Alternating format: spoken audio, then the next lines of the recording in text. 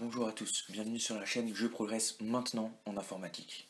Si vous avez cliqué sur cette vidéo, c'est que vous faites sûrement partie des gens qui n'ont pas grandi avec les nouvelles technologies et qui pensent qu'il est extrêmement compliqué de comprendre leur fonctionnement. Mais rassurez-vous, je vais vous montrer qu'il est possible de progresser facilement et rapidement en informatique.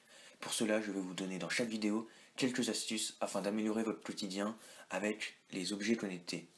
Plusieurs vidéos vont arriver sur la chaîne dans les prochains jours je vais vous apprendre à aller facilement sur des sites internet, à gérer facilement vos mails ou encore à envoyer et recevoir des photos de vos proches afin de rester en contact avec eux, surtout en ce temps de crise où il est difficile d'avoir des contacts physiques.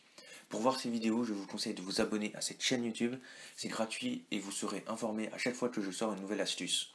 L'astuce que je vais vous révéler aujourd'hui peut paraître simple, voire logique, pourtant peu de gens l'appliquent.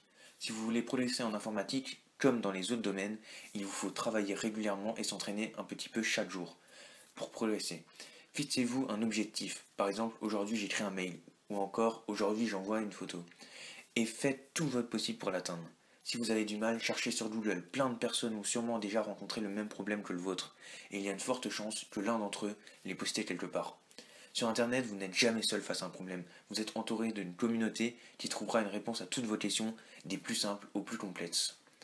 Pour vous aider, je vais vous mettre dans la description de cette vidéo un document qui recense plein de petits défis triés par niveau afin que vous ne soyez jamais à court d'idées.